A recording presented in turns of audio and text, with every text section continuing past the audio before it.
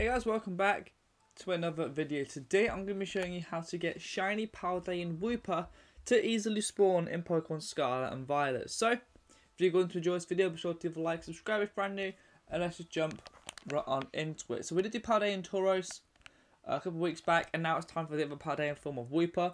So to do that, you need to go to South Province Area 5, or the secluded beach. It's just this little marshland area. You should have unlocked the... Um, area for playing for the game. But if you haven't, then obviously uh, this is it on the map. It's literally just really close to the first house. So make your way there, because that is your best chance of getting them to spawn. But unfortunately, you can literally only um, fly to here. We need to run up this hill, but you know it's not that bad. The Paldean Wooper has actually has a decent spawn rate, um, regardless uh, down here. But obviously we're going to increase that spawn rate to get the shiny one to appear. So, obviously if you are using Herba Mystica, you can to get level 3 uh, Sparkling Power to make it easier. So make sure you save beforehand to not waste your ingredients. But if you don't have Herb Mystica, you need to have a level 2 ground type sandwich because there's loads of poison types that spawn in this area. So level two, level 2 ground type sandwich works better for this. Just use the great herbed sausage sandwich.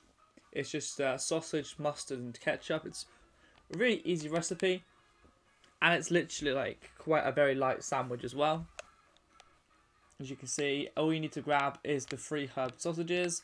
It's basically impossible to fail and it's literally a level 2 um, for ground type Pokemon, which is obviously Paldean Wooper is poison ground. Don't make that mistake thinking it's water ground, water poison. There are two different types of poison and ground. And this also boosts the spawn of uh, Clodsire as well. Which is obviously the evolution of Paldean Wooper. But as you can see, the Great Herb Sandwich has been made. If you've done it right, you can see you've got Raid Power Fighting level 1, XP point level 2, level 1. And what we're looking for is the Encounter Ground at that level 2. So once you've done that, it is literally very, very easy. All you need to do now is just get into this area.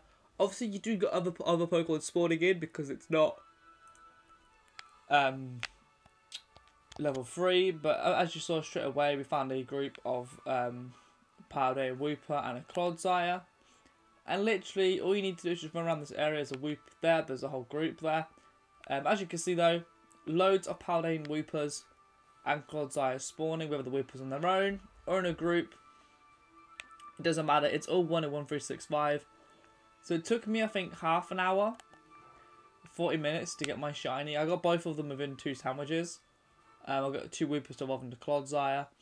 And as you can see, sometimes they don't spawn in that much, but if you literally just run around the area, as you can see, you do get loads in. And obviously you can go into your picnic again to reset, but to me it's really not worth doing that because as you can see, you just run around and you do find the Woopers And then eventually you will find your shiny one. If you just keep running around, it's very simple. As mentioned, it's about an hour to get my shiny Paldean Wooper. But that is how we're going to wrap up this video. And that's a bit of a shorter one because uh, no, just we got. I guess we just got through it all very quickly. Um, hope you guys did enjoy it. Nonetheless, if you did, be sure to leave a like, subscribe if brand new. We've got a Toedscool guide coming next, and uh, yeah, let me know what Pokemon you want to see me cover, and I'll be getting round to it uh, very very soon. But as I said, that's it for me. Thanks so much for watching. I really hope you did enjoy, and I shall see you all